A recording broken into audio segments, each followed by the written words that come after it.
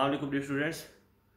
आज ये डिस्कस करेंगे कि आपका जो पेपर होता है ऐसे का या प्रेसी का, उसमें जाके आप लोग जो से हैं वो कोलेप्स क्यों आ जाते हैं? उसकी रीज़न ये होती है कि आप जब कंफर्ट जोन से बाहर नहीं निकलते अपनी तैयारी के दौरान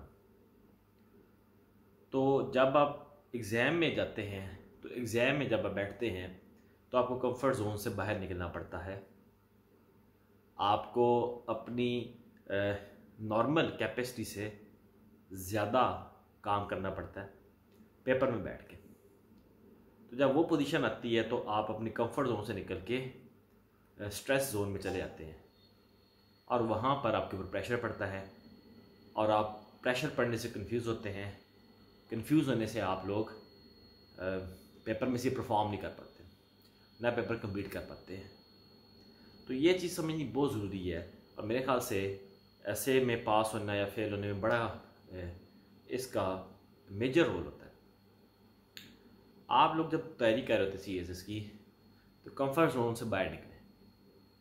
आप कंफर्ट जोन से बाहर कैसे निकलना है? कंफर्ट जोन से निकलने का तरीका होता है कि आप वो काम करें जो आपको करने का दिल नहीं करता। जिस तरह ऐसे लिखने का दिल नहीं करता बच्चों का। आप ऐसे लिखें। रीडिंग करने का दिल नहीं करता, आप रीडिंग करें। आउटलाइंस बनाने का दिल नहीं करता, आप आउटलाइंस बनाएँ। ब्रेन करने का दिल नहीं करता ब्रेन करें। अपने आप पे इन्फोर्स करें कि आपने ऐसे को कंप्लीट करना है, घर बैठ के। अपने आप पे इन्फोर्स करें ये चीज़ कि आपने तीन घंटे उठना नहीं है। ऐसे शुरू करना है कंप्लीट करके आपने उठना है, उससे पहले आपने नहीं उठना। अपने आप पे ये चीज़ लागू करें कि आपने रीडिंग करनी है, ऐसे का मटेरियल तैयार करना है, फिर ऐसे लिखना है।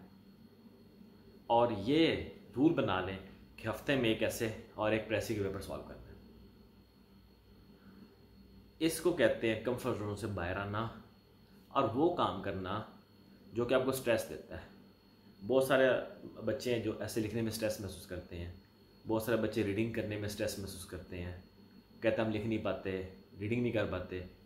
क्योंकि वो कंफर्ट जोन से जैसे ही बाहर निकलते हैं, वो उनके जो साइकोलॉजिकल एक प्रेशर होता है, उसे वापस खींच देता है कि आप कंफर्ट जोन से बाहर जा रहे हैं, वापस तो वो वापस उस कंफर्ट जोन में आकर रिलैक्स फील करना शुरू कर देते हैं। इसलिए वो ऐसे भी नहीं लिखते प्रेसी भी नहीं लिखते रीडिंग भी नहीं करते।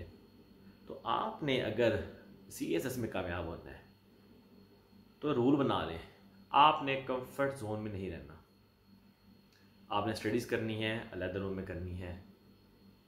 आपने टाइम टेबल को स्ट्रिक्टली फॉलो करना है। आपने एक रूटीन बनानी है जो कि पूरा साल सेम रहनी चाहिए आपकी। आपने एक टाइम फिक्स करना है सब्जेक्ट्स कंप्लीट करने के जिसमें आपने करने हैं। ऐसे के लिए आपने रीडिंग करनी है न्यूज़पेपर की आपने रीडिंग करनी है, जो कि लाजमी करनी है मिस नहीं करनी स्किप नहीं करनी। फिर आप डेली राइटिंग करें। जब आप रोज़ाना राइटिंग करेंगे तो डेली आपकी पॉइंट फाइव परसेंट भी या पॉइंट वन परसेंट भी इम्प्रूवमेंट आती गई राइटिंग में। तो आप देखें पॉइंट वन परसेंट को आप पूरे साल में ऐड करते जाएँ। Point one point one point one point two point three point four one percent one point five percent three percent five percent तो कितनी इंप्रूवमेंट आपकी राइटिंग में आ जाएगी? और तब भी आएगी जब आप कंफर्ट जोन से बाहर निकलेंगे राइटिंग करेंगे। राइटिंग करना भी, बैठ के लिखना भी अपने आप को कंफर्ट जोन से निकालने का ही एक ज़रिया होता है, आप लिखेंगे तभी जब आप कंफर्ट जोन से बाहर आएँगे। तो कंफर्ट जोन वो एक जोन होता है जहाँ पे बंदा रिलैक्स फील करता है इजी फील करता है स्ट्रेस नहीं फील करता, और वो जोन होता है जब आप काम नहीं करते, ऐसे लिखते नहीं हैं रीडिंग नहीं करते बुक्स नहीं पढ़ते।